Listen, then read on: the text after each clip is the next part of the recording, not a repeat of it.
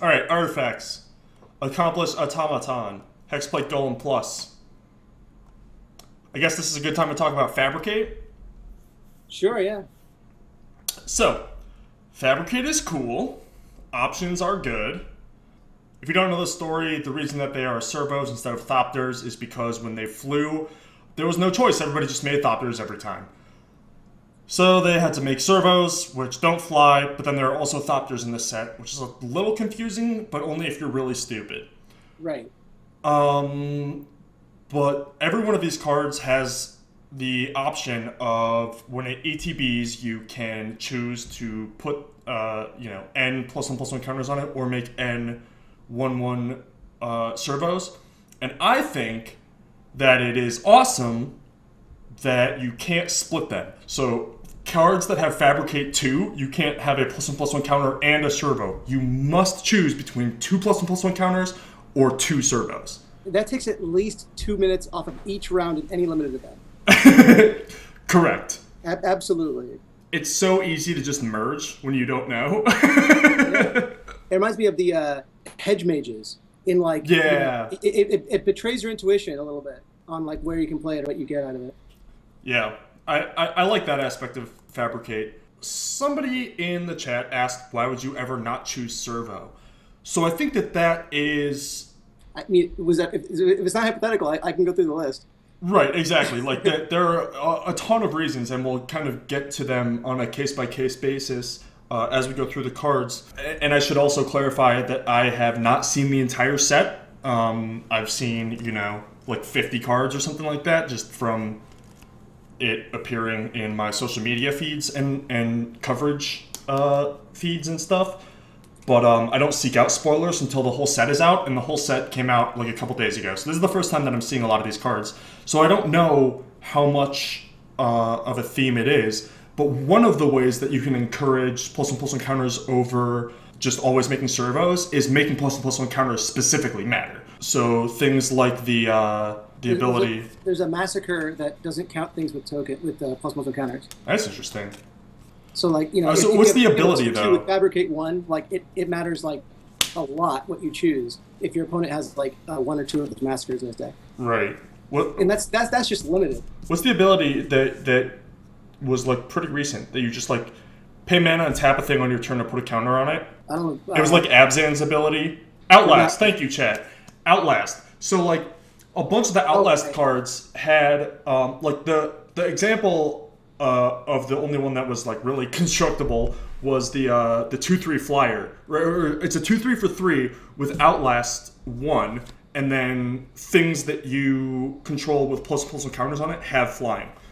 So it's you know a three four flyer with suspend one or whatever. But that type of ability of like hey, all your things with plus and plus one counters can do X now, yeah, yeah. and then you can also choose whether or not to put a counter on this. Like that's interesting.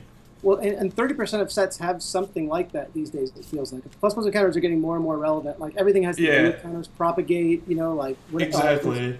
What is it? Not propagate, but you know what I mean. The the Mirrodin one. Yeah. Uh, and th- and there's there's always like a little bit going on with plus plus counters. So like I feel like it's just a set away from mattering a lot. And right now it matters like barely. And just it- in general, also like sometimes you just need a bigger creature. Like what, what what's the Right. damage spell the format? Like, Well, that's- you know, if you have a one four on this grasp of darkness in your, in your opponent's deck, you're gonna you're gonna choose wisely. Right. And that and that's sort of the more case by case stuff that we'll get around to. But like for for plus and plus encounters matters. Um, then the flip side of that is you know how many bodies you have mattering uh, to incentivize you for servos, and then balancing those wherein the plus one plus one counters have to be weighted more heavily because by default, I would agree with that uh, the chatter that originally asked the question um, that you know in a vacuum by default I would just always make the token right like Get your tokens in. yeah but but like to, to get to make that closer to like 50-50 rather than the 60-40 or 70-30 that it would be uh, by default like you just have to weight those mechanics separately Wait, wait a second. Is this is? I don't think this is modal, right? Like you don't choose which one it is when you announce the trigger, right? If you do, it matters. Then it's like almost always servos because they can just respond and kill it before it gets plus one counters. And if you choose plus one, oh no no no no no I think I think it's it's the same as um Sense Step Outcast Yeah, I mean, uh, I, I don't I, you know I've just seen enough Esper charms go wrong. You know that I'm just you know if, if you if, it, if you have to choose it first, I, I I think you're right. I think it doesn't matter, but that just occurred to me. I think you would choose. I think you choose on resolution. I think so too. The chat seems to agree. So yeah, we'll go. it, it would just be a nightmare. I I, I would uh, you know it, talk about tension. Uh, the only thing I have to say about this card is that everybody already knows LSV loves it, and also um, Boix in the chat reminded me of Joel's comment, which is "Don't talk to me or my son ever again." yeah. Now, uh, a comp or uh, Aetherflux Reservoir.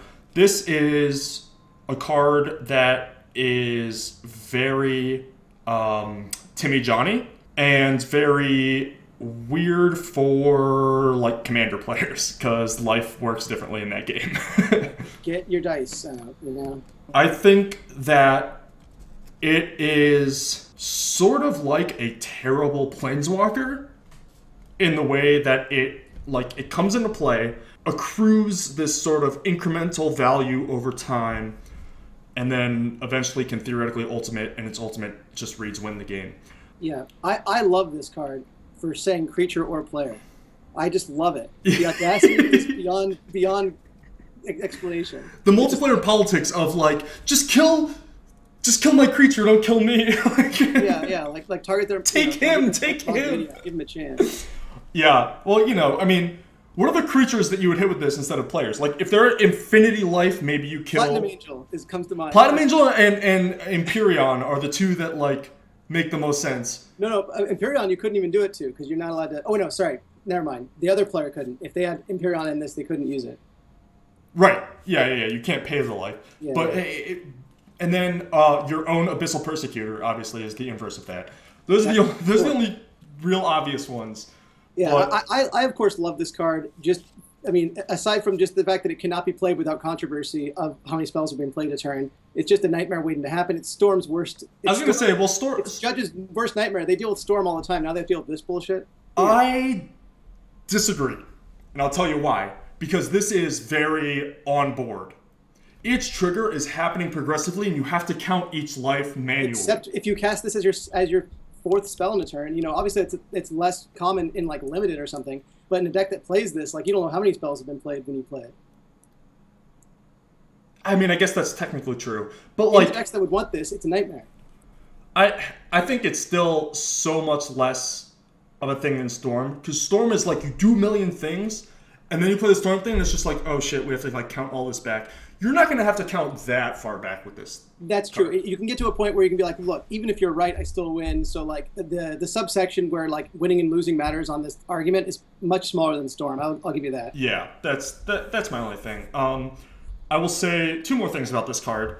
One is that um, it checks the number upon resolution.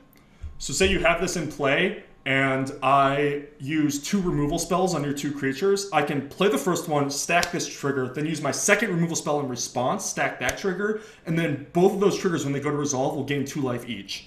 Yeah, that that's great. That which nice. I think a lot of people will miss that interaction. Um, so be aware of that.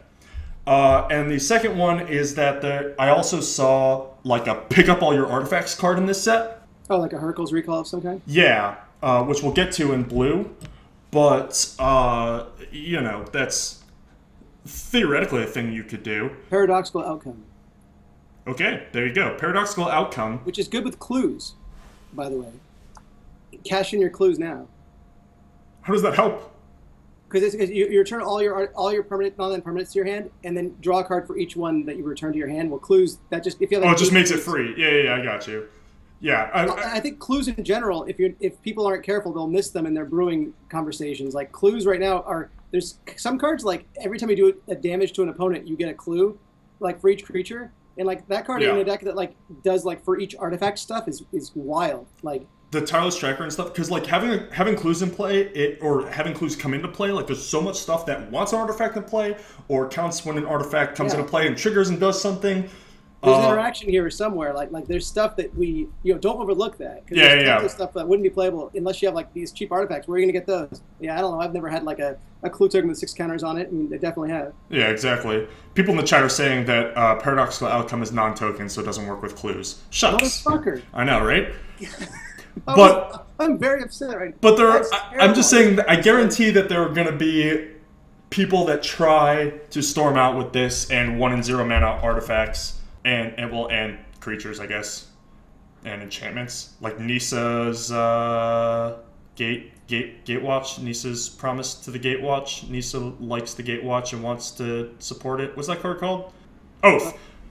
Oath of the Gatewatch. What are you talking about? Oath. Oath of Nissa. Um, Oh, Oath of the yeah, yeah. Oath of Nissa is like a good enabler for this, and just like those types of cards Pact- that Pacts.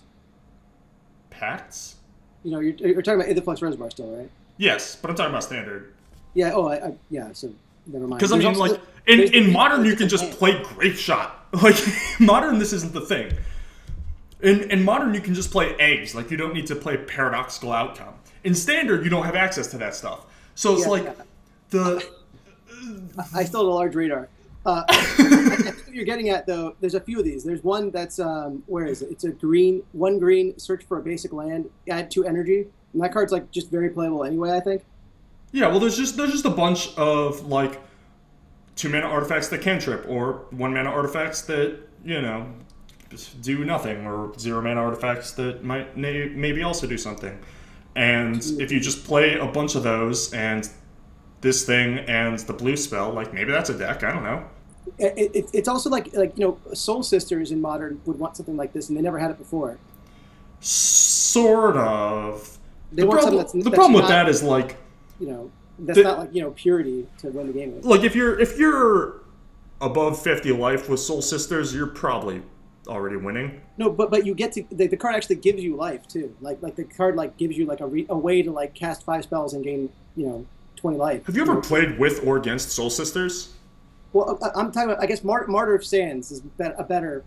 it's like those decks never play more than three spells on a turn ever Well, all right, all right, fine. I'll give it to you. But there's there's decks that just gain life as like a consequence of their deck that like could you could use a, a low mana like you know you got to deal with this somehow kind of card. I don't. I'm probably overplaying it. I just love this card. i mean like maybe like a really weird turbo fog deck that doesn't exist yet Well, you, all you have to have is 50 life. You don't have to combo with it. You just need the life to kill them. That's what I'm getting at. right but the way that you get the life is not playing a spell a turn No, you gain it like you know, go Mar- Martyr of Sand, sack it. Martyr of Sand, sack it. Aetherflux Re- Reservoir, kill you. Like that's not that unreasonable. I, I understand what you're saying. I just don't think that that's like I- a I thing that those that- decks need. I'm, I'm- you know, it's not fit to print. You know, Yeah, yeah, yeah. deck I'm coming up with. I've just, uh, you know, it, gives them an angle they never had before, a way I'm- to use their life as a resource beyond just winning the game eventually. Yeah, but the whole point of that deck is that like their life isn't a resource that they need to spend because it's free because they have infinite of it. Yeah, but a lot of decks just win with like an Emrakul or something, you know, or like or buying a. yeah, Anyway, we can move on. Let's. I just want. I just want to see somebody storm out with this in standard, and that's probably a deck that uh, I'm gonna try if nobody else does because I want combo to exist in standard, even though Wizards doesn't. Well, yeah, I wish there was a. They should have printed Cloudstone Curio in this. Uh, they, I guess they did as a masterpiece. But Is it one of the masterpieces? Yeah. Oh, that's the other thing we didn't talk about. I, I can't believe I didn't make a note about that. Masterpieces exist. What do you think about know. that? do what you want to do. It's cool. I agree. Um, It's, it's, it's you know, if you don't want to release a from, from the Vault Three as a separate set, I don't mind. yeah, Do well, that's that's the weird part, right? Like, is the upside of doing these specialty things worth the downside of not like having more fodder for Modern Masters 2017, which comes out this year? You know, like it makes sense with the Inve- Inventors Fair. It's definitely flavorful. I like that they look awesome. Like whether or not I like the way they look is another point, but like I, they Yeah. just look very unique. They do look cool. Flashy. They're cool. They do look Like- cool, but they they're also being printed in standard packs next to cards that are legal in standard, and they themselves are not legal in standard, Yes. except Uh, for and- the, and- like and gear unlike- and stuff. Yeah, uh, unlike the treasures from Zendikar, this actually requires a very specific announcement that's like very like, did you hear me? Make sure you can't play this. Like, Yeah. like really uh, A, a late But at the same time, they are playable in limited. Oh, I, I did not know that. That's awesome. Yeah. I don't, I don't even that's bad at all. Eh, because I mean, so was the last one. So like, The last one made made some sense to me. The, the, I, the, people were getting like strip mined out of games in, at a pro tour. Like thousand dollar money matches at pro tours and just getting strip mined has got to be. I missed this. I missed all of that. Jesus Christ. Yeah, I, man, that happened. But they're, I gotta stop working so much. I'm missing life. but they're super rare, right? Like, so I think that you're supposed uh, the math, uh, you know, for how many packs are open and how often you open these. It's something like of all of the packs opened over the course of the two drafts of the Pro Tour, like three of these are going to be opened or something. You know, it's some absurdly small number. Yeah, it's, it's you know it's uh, probably more likely than foil Tarmogoyf, which was like one, one you know once per GP or something. yeah, but like, well, no, it's more than that. Like Oh, it? these things are way more rare than a foil rare. Foil mythic. Yeah, they're like eight times rarer than a foil mythic. I'm making that number up, but they're they are super super rare. It, it, it was a high number that I'd believe. Um, it's okay. Chat is saying it's about as often as a foil mythic of a specific foil mythic, Oh man, count it. but that's for any of them, right? So like. That's the other thing about the the masterpieces. I guess I should bring them up if we're going to talk about them. Let's talk about them before we move on. yeah, I, I I I find it weird that they have three of the swords, not the other two.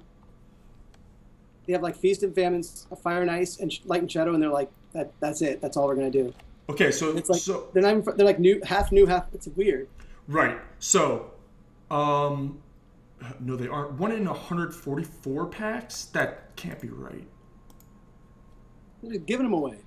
One per four boxes? Okay. I guess that sounds reasonable.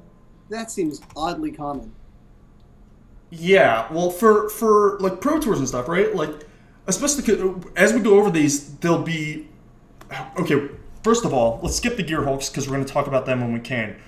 But all five Gear Hulks are here, which is worth noting because those cards are legal in standard, but not. But the other ones aren't. So there's also like, it's not like, hey, if you open a masterpiece with this crazy fancy border, they're not legal. Well, except for these ones, you can put those in your deck. Like that's a weird thing. Yeah, Oh. the, the ex, the exception that that what that yeah, like that some of them are legal is uh, questionable. Certainly. Exactly. It, it, it's also kind of like self-promoting. Like they have, I think the Gear Hulk was in there, right? Like is that, is that what you said? And Yeah, It's like kind of like all five. Kind of full of yourself, Kaladesh. Like you're not that good yet. You know. yeah. You have, putting- you have you have a standing. You have like historical clout here. You need to have been play. You know, act like you've been These there. you know? these are some of the greatest artifacts of all time, and some of the most like beloved cards of all time, uh, along with a bunch of random ones, which we will go through them. But it's like, you you're really gonna try and just like, without really acknowledging it, just like put Gear Hulks in the same class as Sol Ring? Like, no, no, yeah, a colonial, uh, yeah, colonial Hydra doesn't belong in a from the vault set. You know? yeah. Um, yeah, and then the fact that the, the standard thing I said, which is annoying, but also, so in terms of, um, um, yeah, Spirits 55, where I, I know we're going to talk about it, but, um, the, the Gear Hulks, besides the, uh, weird, like, hey, these aren't legal in standard, except these Yeah. ones, there's also, uh, them being here, and then a couple of the, uh, masterpieces as we go through them we'll see are not playable at all, which means that uh, the sort of wasteland syndrome or the strip mine syndrome of like I'm gonna play this multi thousand dollar match at a pro tour or you know GP and just get like sol ringed on one, like that's way less of a concern because it's X in X X and Y to open one of these, and then half of them are either unplayable or you would have to play against them anyway because they're literally in the set.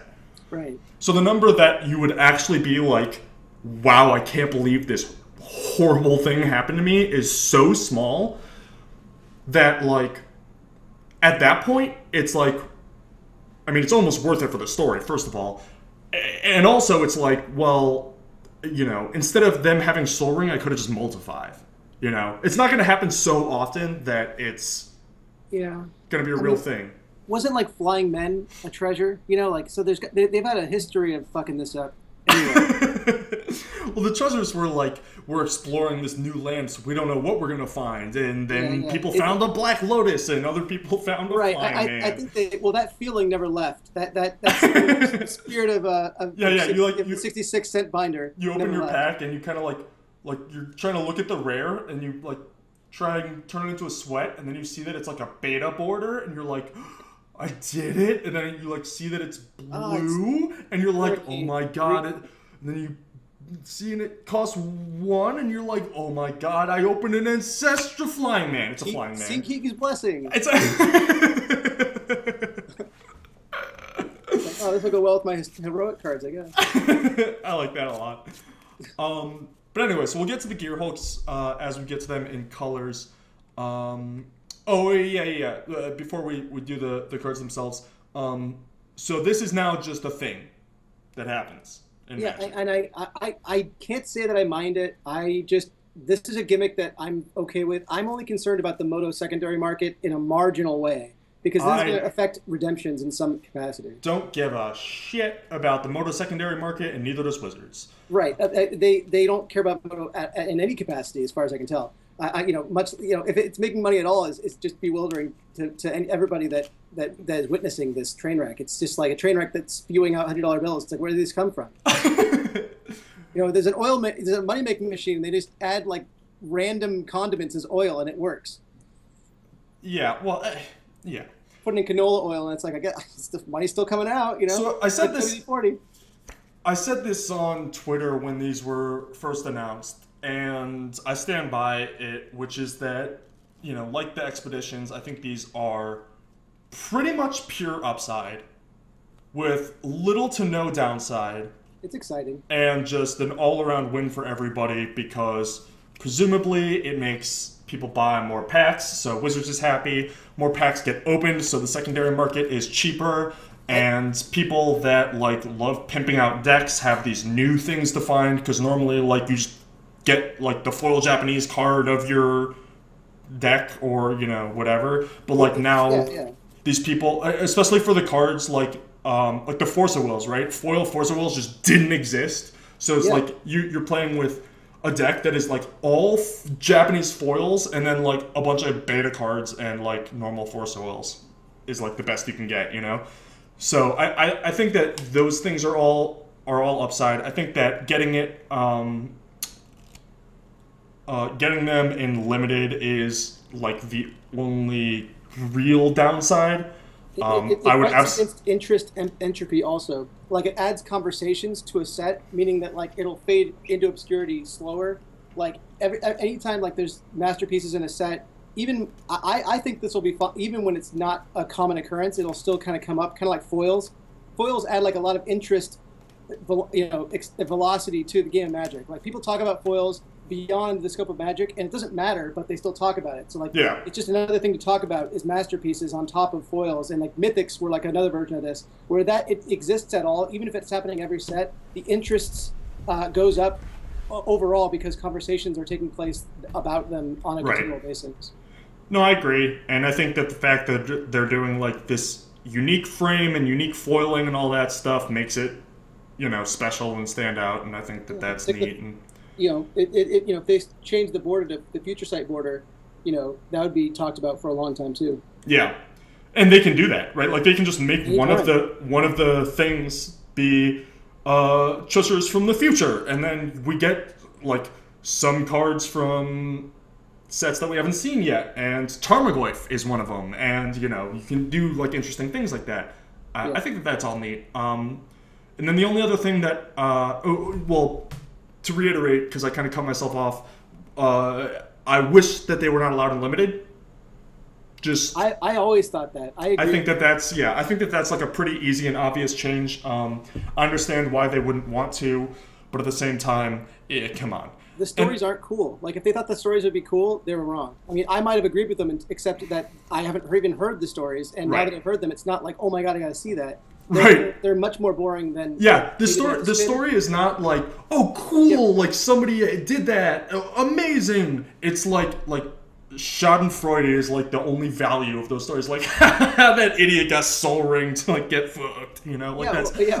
that's not value. That's not a positive thing. Or like a guy's like, yeah, I got beat, yeah, and you know, worse yet, it was with ancestral recall. Like I feel very bad right now. Like I'm yeah. dejected. The only the only pleasure that's gained out of that, the only like oh, happiness that's gleaned is that people point and laugh at the guy. Like that's not that's not good. That's not something you I, I want in your game. every out, even but not the ones I didn't have.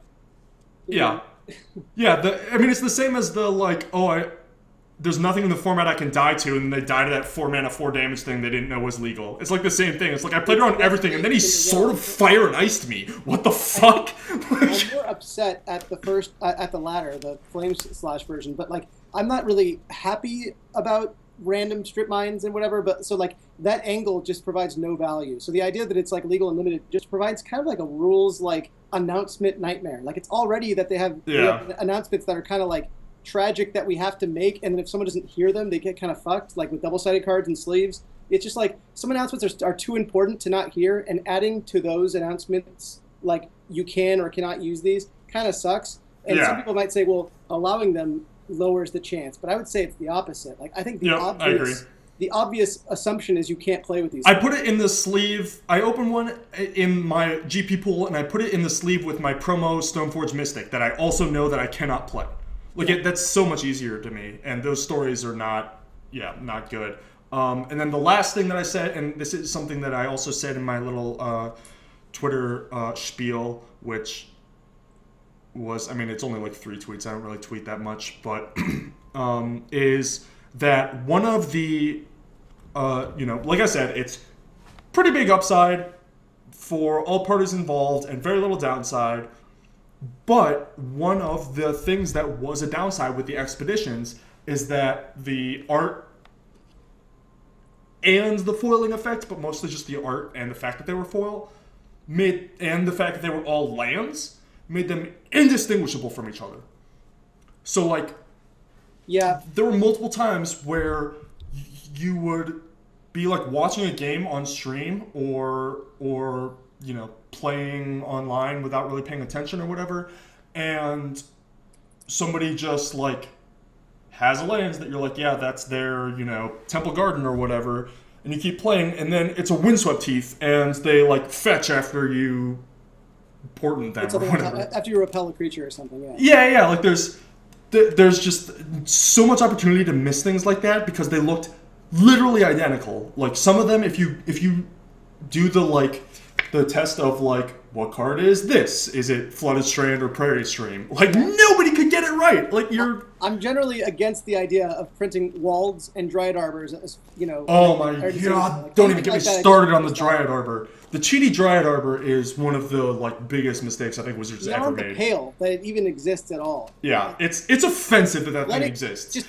ban it and let it go. Yeah. Just you have to let this one go. Exactly. It's so pain. bad. It's so bad. It's like it's a it's a cancer that we Yeah. can't cure. It's just the worst. And now, and now these expeditions are like, you know, somebody just like puts it in the like middle of their land row, half covered or whatever, and then when you least expect it, like, you know, cracks a horizon canopy and draws a card, and you're like, what? No, you Yeah. know, like that's yeah, Luckily they're foil, but like you know, so like you know, limited or whatever.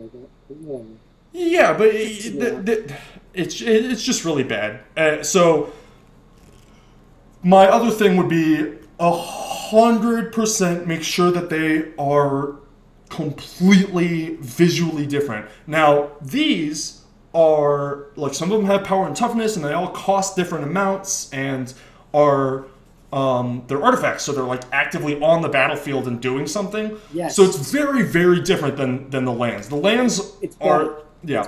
It's. It's it's inherently going to be like a a solution to its own problem. I'm going to read the text on it more often than on a land. I'm gonna E- exactly, I'm yeah, gonna yeah. Make sure I know what it does. It- it's a problem that it's a problem that solved itself with them moving from lens to artifacts. But I think that, that was a huge like series of not even an oversight, but a series of oversights for the uh, for the expeditions that I hope that they don't make again. I mean, you know, this was this was back when Treasure Cruise was around, so you know, it's just like, you know, that that was there was a whole two year period where it was tough to really defend them. Yeah. Um, oh, and the other thing that uh, people talk about a lot for these is um, card availability. Like, even though it's not a significant amount, just having some more of whatever card makes modern slightly more accessible, and that doesn't really make any sense. But is Yeah, it's definitely like theater, but like theater Yeah. also matters a little bit. So like people Oh, totally. feeling, people feeling like it, it's more accessible makes it more accessible. yes, people believe it. yep, I don't mind. I don't mind a little. Uh, you know, placebo is the best medicine as far as I'm concerned. yeah, and the the idea or, or one of the ideal like uh, experiences is like you crack a you have a kid crack an aether vial, and then he's like, well, I what do I do with this? It's like, oh well, it's in this modern deck and this legacy deck, and then he like is interested in those and wants to build one of those decks. You know, that's that's as close as it gets. I don't think that like printing this makes enough more Aether Vials exist that it goes from an X dollar card to a X over two dollar card. You know, like that's not that that's just not lining up with reality. But that doesn't mean it has no upsides.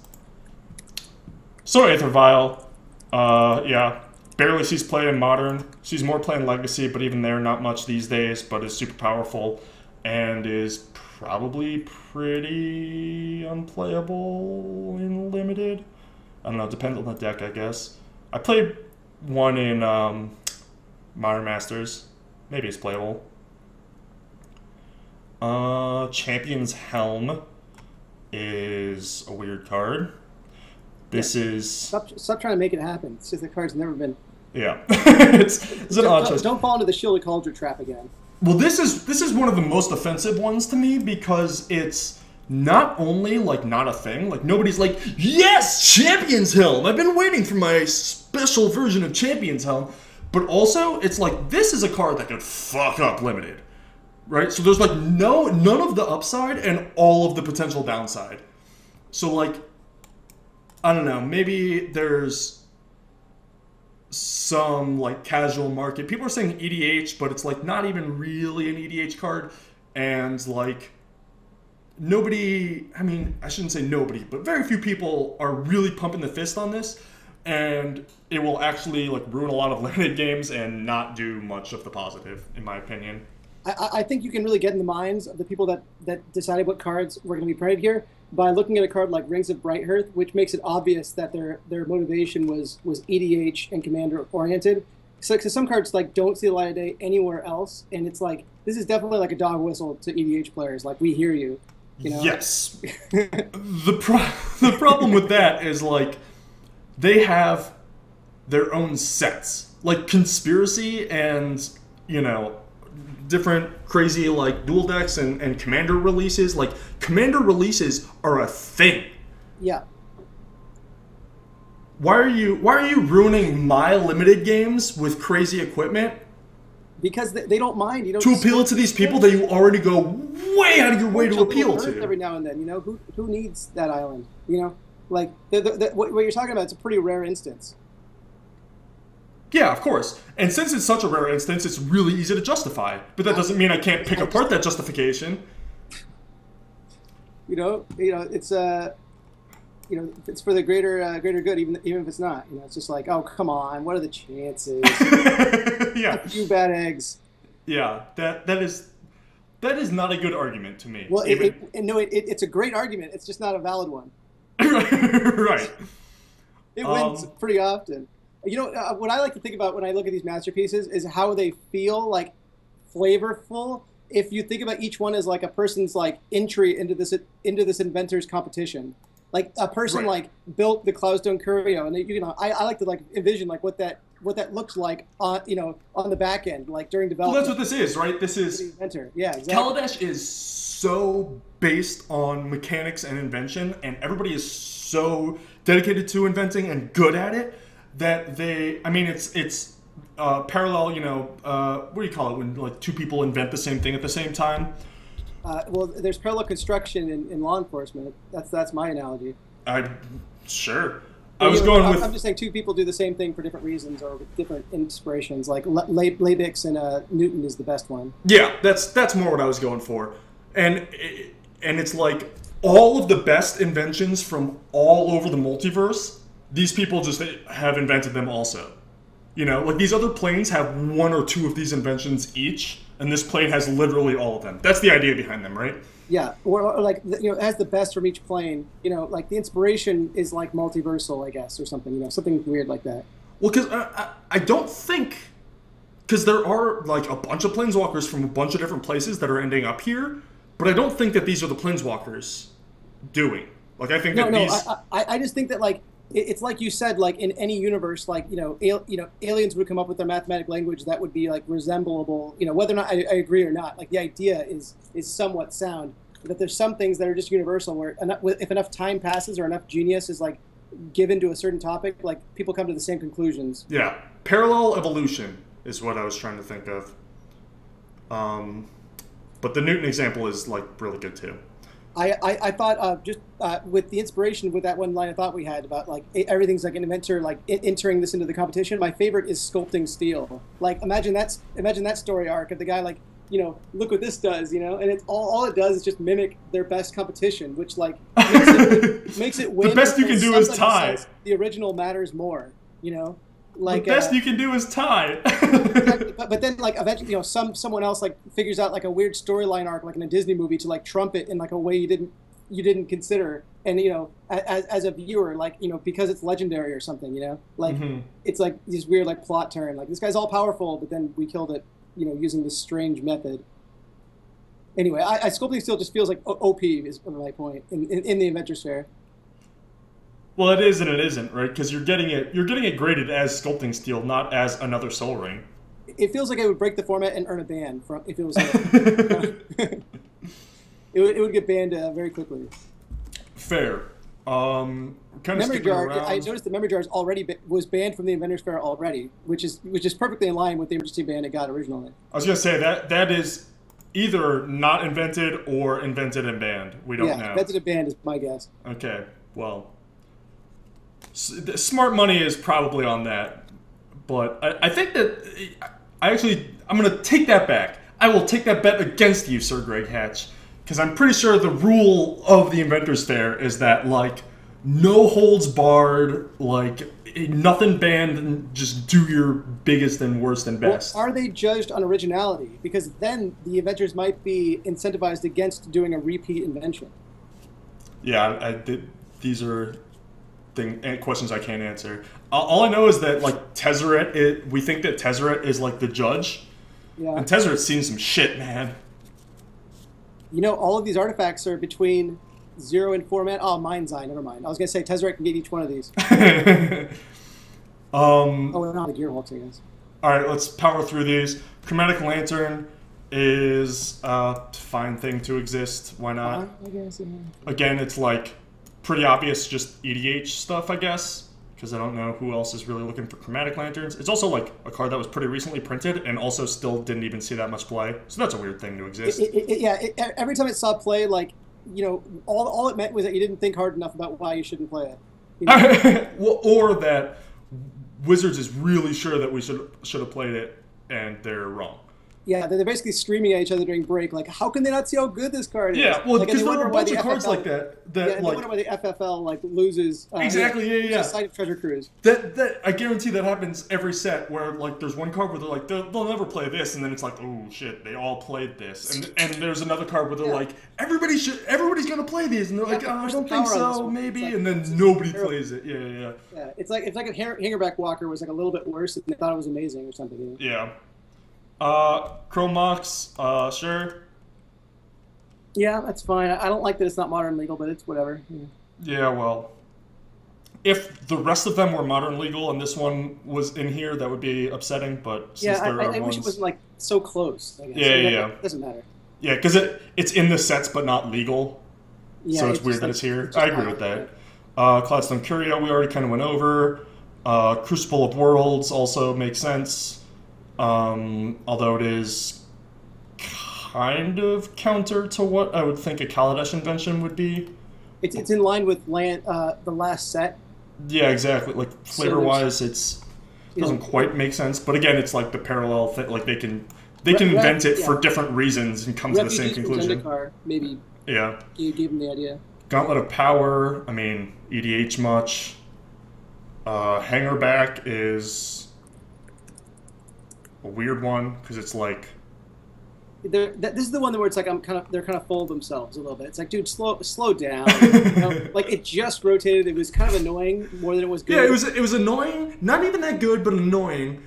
And we're glad to be rid of it. And it's never really going to see play in modern. Like ba- maybe barely the fringiest of play in modern, and that's it. It And memories I, I would rather not have. and yeah, like we- why why this card? I mean, it would be like if they reprinted Siege Rhino in one of these, where it's like we everybody is just so happy to be done with Siege Rhino, and then you're like, hey guys, remember Siege Rhino? Crazy, right? It's like, Yeah, dude. yeah, we all remember it was You last week. answered. It's in the next. Uh, yeah, it's like God. Yeah. Hey, you guys remember that thing? Yeah, it was yesterday. We were all there. Search for the most common word in, in the last two years set on forums in Magic, and came up with Siege Titan, and, you know, Siege Rhino. So we're going to include the next set. You know, it's like, dude, like, we didn't read any of the posts, but we knew that you guys were searching for it a lot. saw a lot of exclamation marks, a lot of capital letters. uh, Lightning Greaves is. I mean, I guess. I, again, this is another like. I, I like it. Like, Lightning Greaves is one of those cards where like it, it's it's hard to obsolete, and I think that that's the nature Yeah. of masterpieces. Is like if, if if a card is unique and not uh, and not obsoletable, obviously or easily, Yeah. then it's masterpiece viable. It's also masterpiece- like it's not breaking in limited, where like you would never play it, or, or where like you would always play it and it would be busted. But like it's good enough that you would like probably play it. But then also it's like you play it, and then the turn after play your three drop and equip it. You know, like th- it's one that you can kind of see coming. It's not like a uh, something that just it's not a Sol Ring where it's like. yeah. Well, it's there's like, just oh, nothing I can do, you know. it's like I just oh, I, fucking I dead. didn't know I didn't know you ca- you meant it. Yeah, yeah, it's not one of Ring's like- those. Fucking. So that's how it's gonna be, huh? You know? yeah, it's Like, not, thankfully it's not one of those. Losing Uh, a Sol Ring will make you really reconsider your ethics temporarily. yeah, uh, uh, Lotus Petal, sure. Um, this is another one that's like I'm pretty sure this exists because people were so unhappy with the last one that they're like, all right, we'll we'll try again. yeah, they could have done better. Yeah, which I think that this one is pretty sweet. Although the original Lotus Petal art is just so good and so iconic. It was like it was the first art that I had um like Gen Con oh my god, 2006 maybe. I was 16 or 15 and went to like my first Gen Con with my friend. I barely played Magic. Um and like bought a playmat so that I could have the woman who did Lotus Petal like draw like sketch a Lotus Petal on it. Like it is just one of those all-time arts and like so key to to my sort of um, evolution and, and and birth into magic that uh, it's always going to be the one for me. But the people that aren't so nostalgically, emotionally attached to the original art that want a pimped out version, they kind of got shafted with their last attempt. So I'm glad that they're they're doing a new one. And this one looks good. I mean, it's fancy. Yay, nay. The Mana Crypt looks very odd. Mana Crypt does look odd. Mana Crypt looks. I mean, it's like a throne, right? Like there's steps up and pillars and stuff. Which. I mean, the flavor text an utterly silent chamber submitted by an artificer who wished to remain anonymous. Yeah, like that part I, I like a little bit. I'm trying to look up this. Um, uh, this this is, is an episode of Star Trek that the original Mana Crypt art looked exactly like, and I, I'm trying to find the name of it. I don't know. So, my thing with Mana Crypt is that I don't really get it.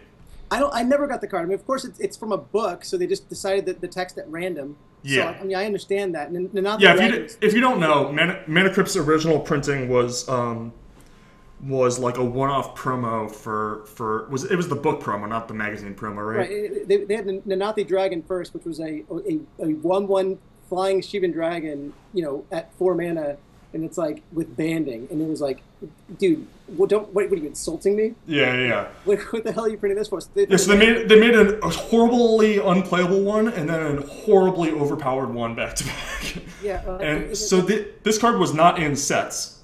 And then they made a Um, card that you couldn't play literally, like pick a card at pick a creature at random from outside the game or something. Or. Yeah, it's like Jesus Christ, you guys just don't know you know you're just making shit up. yeah, which they were because it was like 1996. Yeah, I mean, And Arena wasn't any better. It didn't even tap for mana. Like one of the first lands that didn't do that. Well, that's actually not true. The Legends had a bunch of A bunch, yeah, a bunch of the uh, or, or Arabian Nights had some lands that didn't tap for mana. I like Sorrow- when they- Sorrow's I- Path and shit. Yeah. I, I, I like when they uh, um, when they reprint cards like Mana Vault because I actually enjoy seeing the, the, the revised Oracle text. Like this Oracle text has changed that- more than just about any card in the history. Yeah, like I'm just I'm just glad that my my expectations are are match reality. You know, because that's not always true with cards like Mana, Mana Vault. Yeah, and they also uh, thank you, Bazaar. I was thinking of Bazaar. Sorrow's Path was in the dark, um, but also the seeing the um, the Wingdings mana on these cards that were printed in '94 is also kind of crazy. Helpful, helpful. Um, if if not a little impure, but the helpfulness far outweighs. In your opinion, I mean, I, I like to know that there's a card that exists that, that that has the correct Oracle text. Like that's always nice to me. Like I, I I'm I'm inclined to agree to a point. Like there are a million cards that don't exist without the correct thing after the the um, grand creature type overhaul. So like that's just having making sure that there's a paper version of every card's oracle is just not a thing. Like that will never happen because of that one thing. it's a thing. I mean, It really isn't. I I This game will, like this game will go on for a thousand more years, and that will not exist. I, I mean, they came and do it digitally on MODO, so I, I'm inclined to agree as well. exactly. Um, but yeah, I mean, I understand your idea, your your, your concept there, I'm but saying I, it, it, it, to me, the purity is- that, that, that existed in a, in, a, in a small way. yeah, it helps. It helps you sleep at night. I get it. I, I- I don't need the help. I do it at my desk. um, but yeah, Mana Crypt and Mana Vault are two of the more uh, offensive cards in terms of like. We didn't really need this, and now you're gonna lose all the limited games because of it. Yeah, I mean, the stories are not awesome. They're tragic. That's Yeah. certainly something I can agree with. Agreed. Luckily, they're pretty rare, but uh, or maybe they're not rare. Now that someone told me how common they were. Yeah, I don't know. We'll see. Um, oh yeah, and then the oth- the other thing about the Mana Crypt is that like the flavor didn't make sense, so I guess it makes sense that it still doesn't make sense. But like, how is this just like building this throne, this crypt, an invention? Like, how is this generating mana, and how is that an invention? Maybe maybe it's the life loss. Uh, Well, the life loss is why they wanted the- to remain anonymous. you know, it's like acupuncture. the, the the the testers are like, okay, time to test this new invention no, by it's the invention of gambling, and this is the proof of concept. this is like the Pandora's box of yes, yes, I yes, we got there. We figured it Uh, out. this is, uh, I just like the idea of the like submitted by anonymous. All right, let's try it out. And one guy's just like, "Ah, my arm!" Like, oh, fuck. Like God, man, why would you do something like this? The guy, the guy with the checkbook's like, "Well, it is pretty powerful, but it did rip that guy's arm off." Dude, Kozilek, the Great Distortion. He's the one who submitted this. That's why he wants to remain anonymous, We cracked the case. and that's why it's got the mana and like a fucked up ability. Uh, Nuclear Warrior asks, "So wait, do you play Mana Crypt in Limited?" Yes, it's one of the greatest cards of all time in Limited. It, it, can. It's beyond unreasonable on in any scope. I mean, if your deck wins, It's yeah, 410, it's it's literally like top ten cards in limited of all time, including Moxes. Like it's that in, good. in this set. There's a lot of cards that you can self-sacrifice your artifacts, so even the downside's manageable by commons. Yeah. Uh, Mana Vault, pretty much the same thing, but this one makes sense. Like a vault of that, like explosive mana. It's kind of it has that um. Yeah, get, get your get your you know an, an Angel of Invention out on turn two. I mean that that's not on. It's it, it's really good, but it's it, it's there's some semblance of fairness like Dark Ritual had, where it's like it's not even all that good. Well, I mean, it, it is way too good, but Well, I, well Dark Ritual didn't see play unlimited, you know, and so it's it's not. I mean, obviously this is better in because some- because the cards that you were speeding into with your Dark Right. Ritual were like two twos for three with drawbacks. Like this is that I would not play. creatures now are like five fives for four that also win the game. Like it's not the same universe at all. It, it, there are decks in limited that I wouldn't play this deck in if they didn't. And this a- is way better than Dark Ritual. Like Dark Ritual makes one mana into three. This makes one or, or, or plus is two mana. This plus is three mana because you pay the down payment. I, I, you know it's it's we, you know, this isn't land tax where I'm going to be late to the party on why it's good. I'm just saying there's some decks that don't want land tax. You know, All that I was going to say about. Mana Vault, beyond what we've already said, is that this makes sense as an invention, right? Because it has this like TARDIS type thing of like you open the vault and there's this Yeah. explosive mana. It's like, It's a battery. yeah, yeah, yeah, that makes sense as an It's- it's- invention it's at like least, a unlike the. Mana Crypt. It's like a portable cell phone battery. Mind's Eye also doesn't make any sense. I guess it kind of does. Th- There's there was better options than Mind's Eye. I agree. The art sells it. Th- this like a machine that shows your mind's eye. That makes sense to me. However, it's it's definitely like a um, a- an EDH dog, another EDH dog whistle. Like there's no actual, like this card is not beloved except by that community. Yeah, well, that's true for almost all of these cards. That's not true. I, I, I would say ni- 80 90 percent are like university universally recognized or renowned. But I would say Mind's Eye is not renowned at all. I challenge that number. 80 to 90%? So there's 24 of them. Let's go through them. Oh, you you got it. I mean, uh, let's go with the with the 80 that I said. Um, uh, let, let's get will- rid of the Gear Hulk. So Yeah. I don't consider them. Yeah, so it's it's it's I mean, Eight- Gear Hulks are not yes. Champion's Helm is one of the ones that's that's out. You know that that's a really bad right. one. That's 1 to 1. Chromatic, Chromatic Lantern, is, is absolutely renowned. no. This is an EDH. Well known. No, It's this is EDH. liked and This goes on the. EDH scoreboard 100%. Greg, I'm not letting you have this. No, it, it's EDH, but there's overlap. Because No, there's no thought that Chromatic overlap. Lantern was better Nobody gives a shit about Chromatic Lantern. Lantern does. No one Nobody gives a flying fuck about Chromatic Lantern except EDH players. anybody who's around when, when Chromatic Lantern was printed at, at all knows what that card does, and that's just. Chat, chat, sound off. Does anybody care about Chromatic Lantern except EDHers?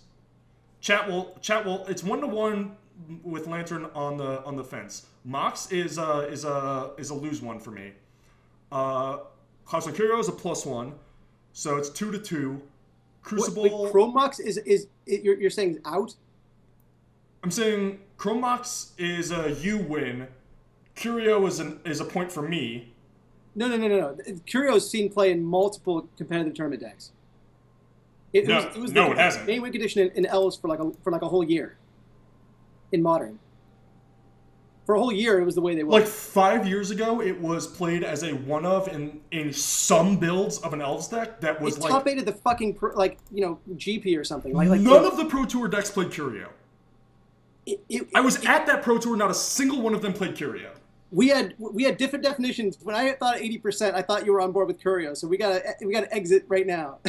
All right. I, I, I would have bet a lot of money that you would have recognized Curio as a real as, as a real piece of evidence. You would have admitted it, it you know, it, you know, satisfy the court or whatever.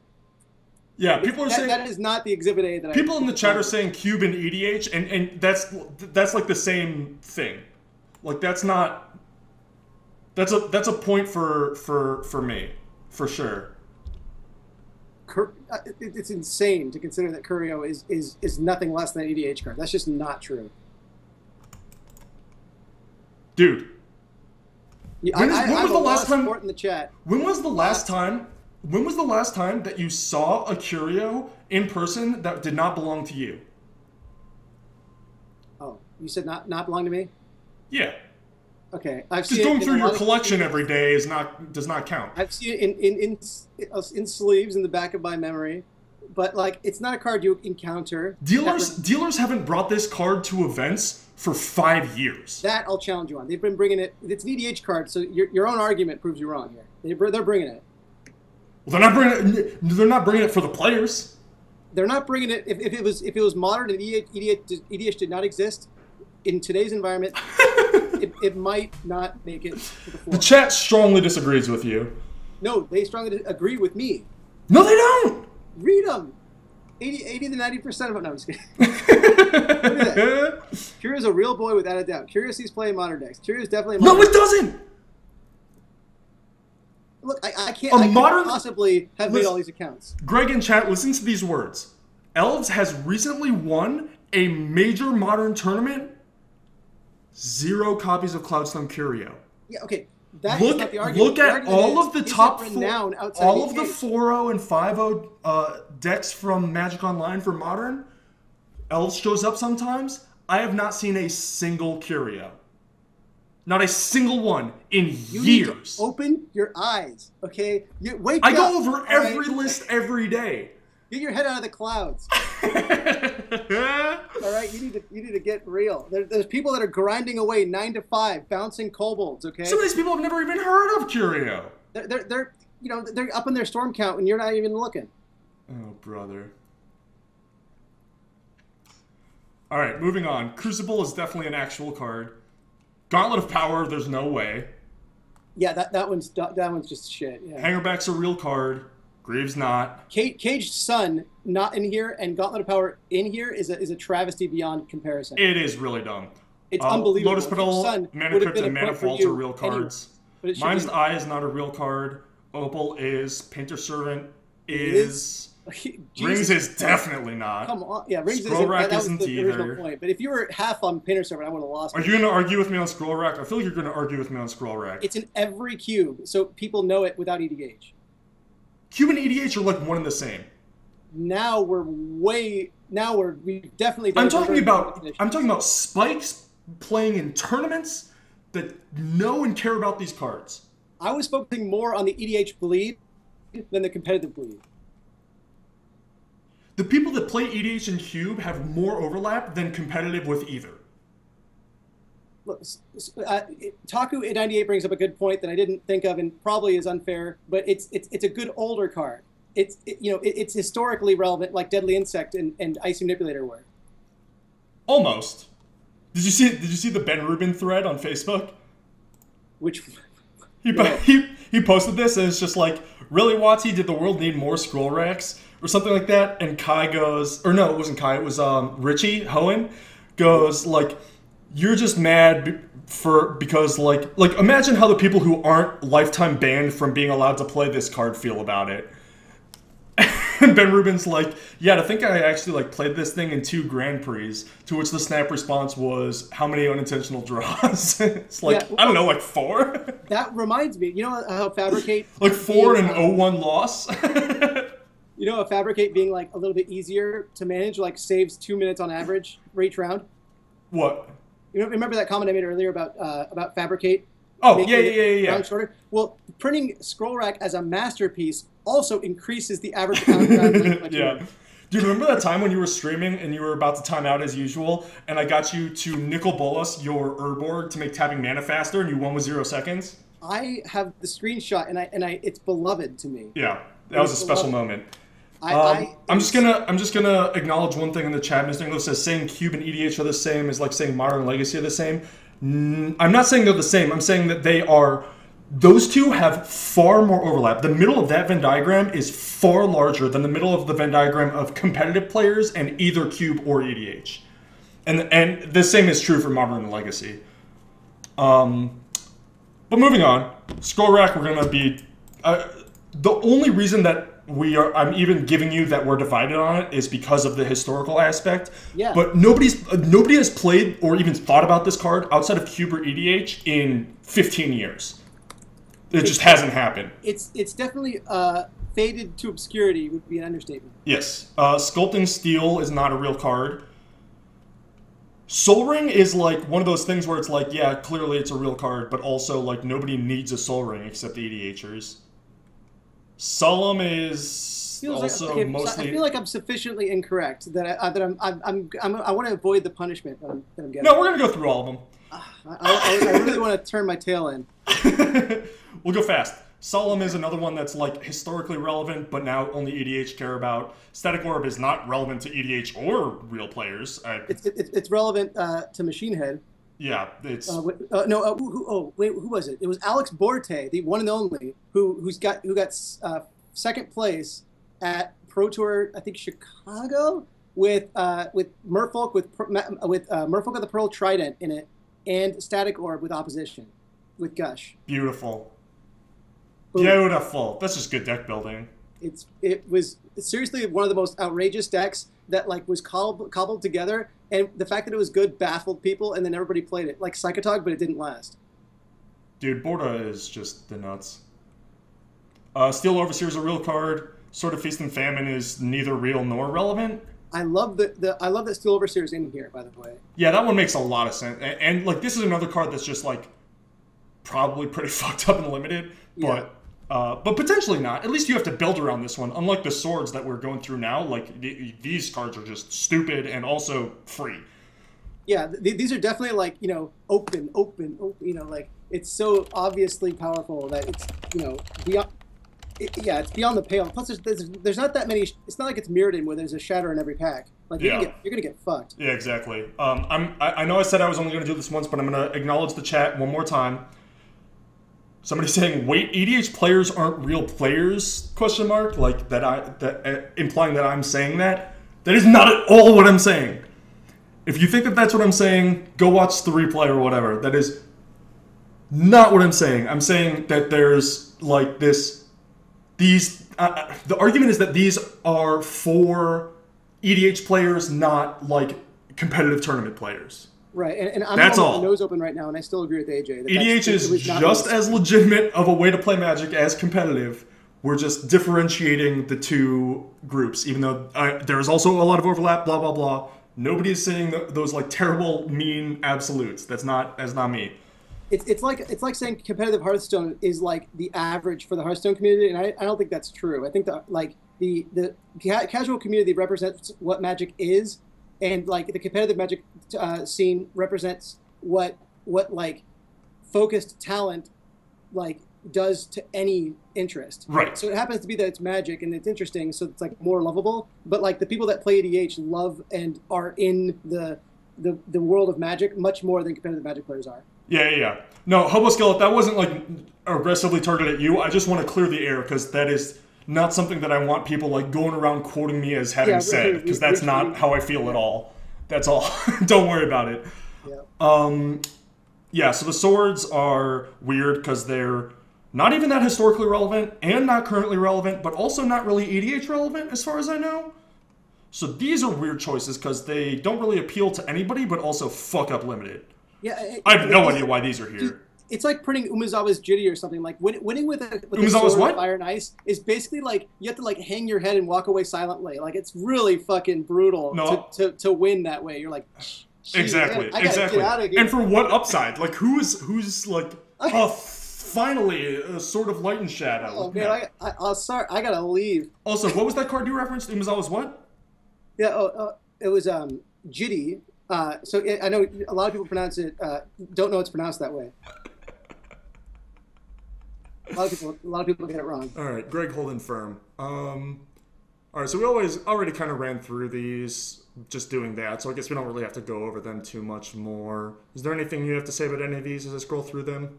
I think you've said it all, AJ. Okay, Mox Opal's probably fucked up in this set. Uh, Painter Servant's irrelevant. None of these are really relevant. Sculpting Steel is like good but fair. Uh, Solemn is like very good Hearts but fair. Like if Uh, R- Rings of Brighthearth has, has disappointingly bad art. well, it's like the same art. Exactly. Every other art I feel really great about in this in this masterpiece set, but Rings of Brighthearth is like offensively mediocre. Yeah, well, I mean, I don't think it's I, I don't think it's mediocre. Like, I think that it's genuinely good. It's just the same as the old art. I don't know. It seems it's it's a, it's a board, like look what they did to the scroll rack in Mox Opal. Like they changed it in, in a way that I believe. It's like you know, Bright- Brighthearth is just lazy.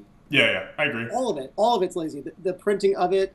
Uh, Also, isn't Bright lazy. isn't Brighthearth a specific like place or thing or something? Like, isn't that Yeah, a it, it, it's it's like the the hob the, the, the Kithkin Village area. right? So, h- how did on Kaladesh they Oh, no, invent these oh, rings? Because the rest Yeah. of these, like a Mox or a Mind's Eye, like these are all none of these are plane specific. Cloudstone Curio, no, that's not really specific. None of these are specific except for that one. Right? I'm I'm looking. Something seems solemn small chrome. Crucible of Worlds, like oh, Champion's Helm is like uh, could be con- construed. No, it's it's there are champions and there are I'm homes. stretching. I'm Yeah, stretching. yeah, yeah. No, that. that, even stretching, it's hard. You can't. None of them except for that one. Yeah, it, it's it's oddly specific.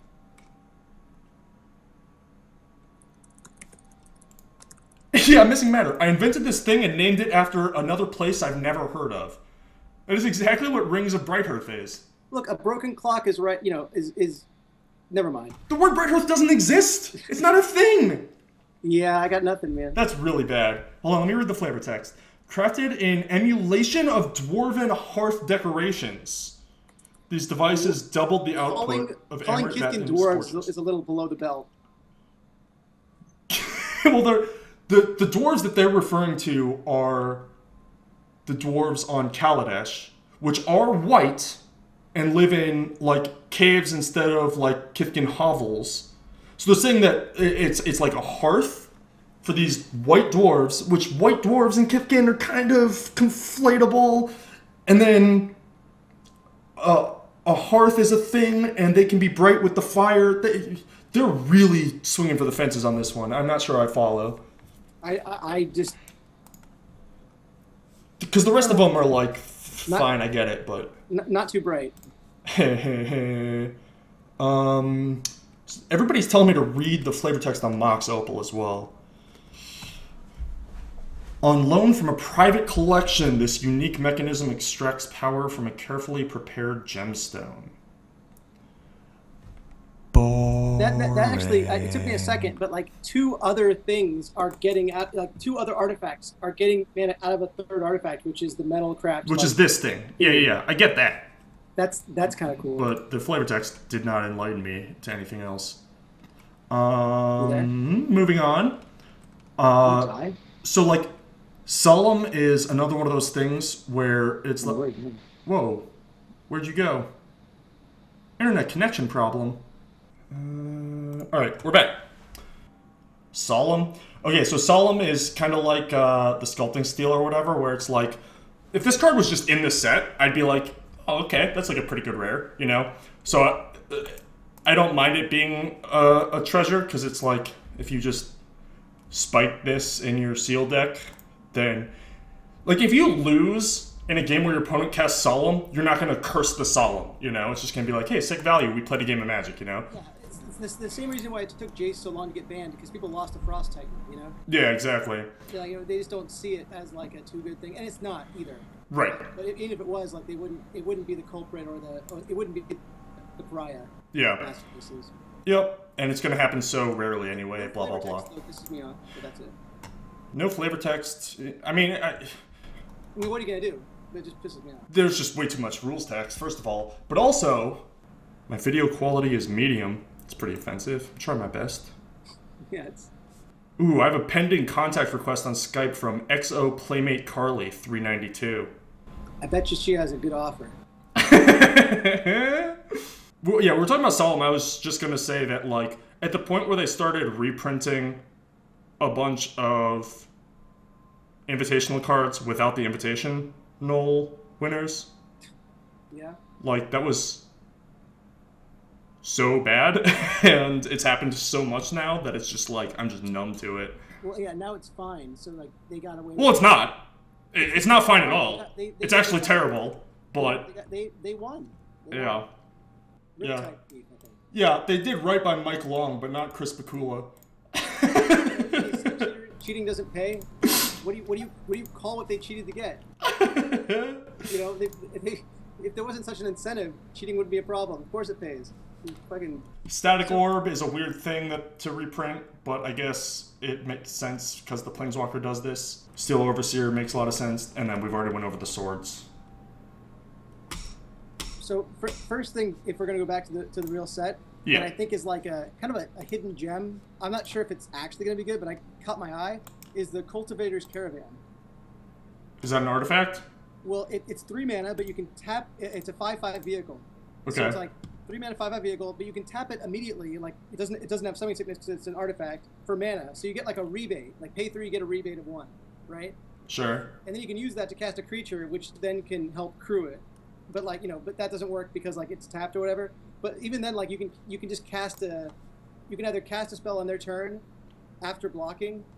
No, you you still can't do that. So basically, you can just do either. You can cast it for three, play another creature, untap and attack, or you can just like you know, block. It's, it's just like a it's it's like a weird two and a half mana. Well, they have they have summoning sickness anyway, so you But can't you attack on the first turn anyway. It's like it's like Chandra, the red one, where like you pay four but you get two back. I just I, I think it's like better than it looks. I'm not sure if it's good enough to play, but it's it, it caught my eye as like a Dude. oh man, it's like a little, it's like a little rebate. Skype is the absolute worst. It's never good. It's always bad. Aetherworks Marvel, 4 mana, legendary artifact. Whenever a permanent you control is put into a graveyard, you get an energy. Tap, pay 6 energy. Look at the top 6 cards of your library. You may cast the card from among them without paying its mana cost. Put the rest in the bottom of your library in any order. Yeah, it seems like it's easy to, enough to get like six energy from other sources if your deck is like kind of like threading the needle on all the pieces you need. Like you know, like the Primeval Titan decks kind of like can justify playing it because the rest of the deck kind of like supports it in some weird way. But it's really hard to make this card good. Right. It's gonna be really tough to make it. So like, you're saying that you think you, you think the way to make this card work is to use like outside energy producers rather than trying to like aristocrats this and just bin a bunch of things. You would need like 12 Gargadons in your deck to make this work. Well, if I could have 12 Gargadons, we'd both we'd both be swimming in it. What a world it would be. no, I, I just think that, uh, that there's too much that needs to go right, and what happens afterwards, like, I'm not sure there's enough powerful stuff that's going on in standard, like, to, to justify whatever could happen. Like, even like an Ulamog off this, like, it's really, really good, but it it's it's definitely like someone could deal with Ulamog on turn four, you know? So my thought for this card was It's, it, it's just very powerful under the right circumstances. Yeah, well, that that's clear, but that's also like not saying anything, right? Because that's just true of a magic card. Uh, well, I'm trying to talk down to people in general that like have this instinct in their head that like this is going to be great. Like it's Sure, sure, sure. power. Yeah, no, I agree with that. I definitely approached it from the other angle of like, Maybe yeah. of too. like, well, no, not even that. Just like, okay, so aristocrats esque shell with, you know, something up top, and then you sort of like blood artist them with this thing, rather than like I'll just make a bunch of energy because like. I mean, we'll get to the energy producers, but all of these cards like both make energy and use it because if you don't have that for your energy cards then they become really really parasitic um, oh, which see what you're is. So this this like basically it, it passes the test of like you know it, it, it, makes its own water that it drinks. You know. yeah yeah it, all these cards have to be like self-sustaining to some degree You um, can lead a horse to water and make it drink in this case. i don't know much about horses that's the sole reason i don't look gift ones in the mouth Yeah, I mean, well, they, they give you a gift, so I guess you just don't want to like piss them off. Cold Well, I also don't know what I'm looking for because I'm not a horse scientist. So this is this is a card that people are going to try and play with. The problem is that you have to get a full card's worth out of it at least. at least, right? Because four mana is a lot, and then waiting for energy or or building your deck in a way that produces energy is a lot. You can't really reasonably expect to activate this more than once. Uh, unless you've got a lot of permanents just laying around that you can like do something with as an, eh, to make this an energy producer with marginal additional value. But that's what I'm saying. That's what I'm saying. If you if you are in a position where you have so much shit lying around and the sacrifice outlet and this thing that you're activating multiple times, like you're you're just winning, right? It doesn't matter. Yeah. So so in in games where like this is the fulcrum point, you can expect exactly one activation. Because if you can activate it, you're not winning. And if you can activate it multiple times, you're already winning. If you can activate this exactly once, can you make that worth it? Can you win with one activation? Is this a through the breach that has a home? Right. And I think the answer is no.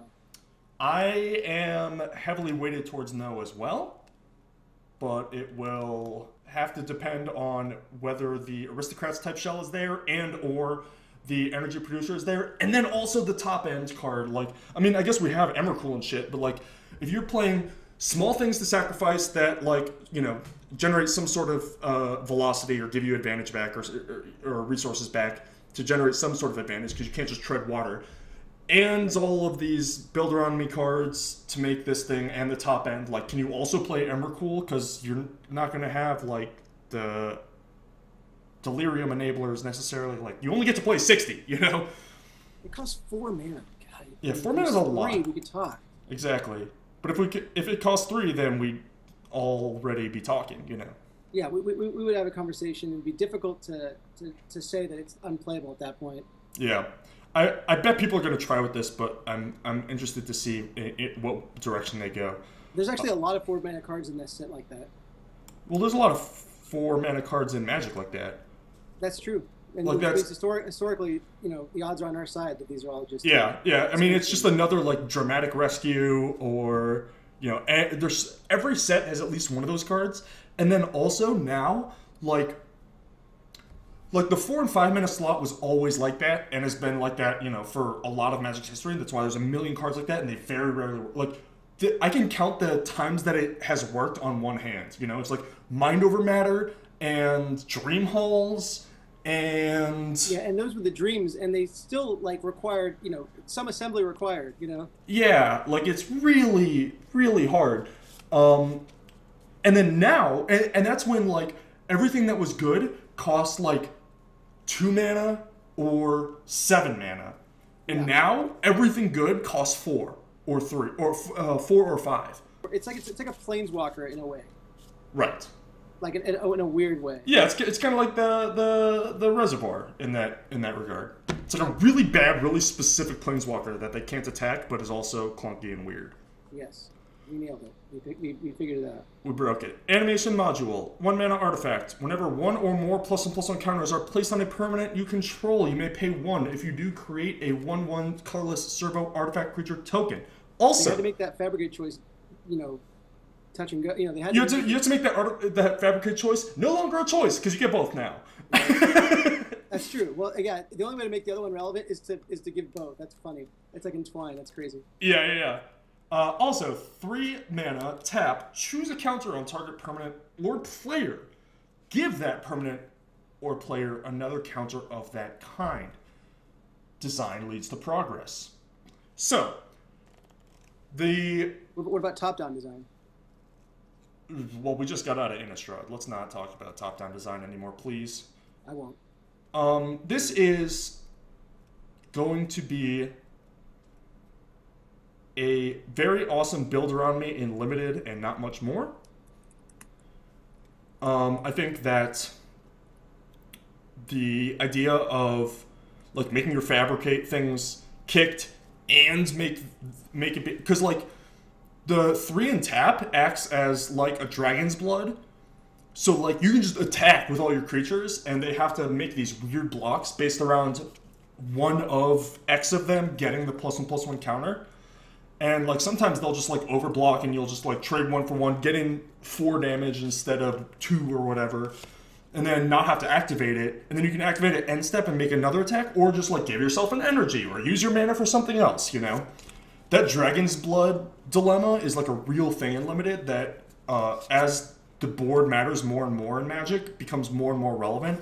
And i think that uh, a one mana one that like has this other ability is is great. Because like you wouldn't play dragon's blood right? Like it'd be pretty hard to.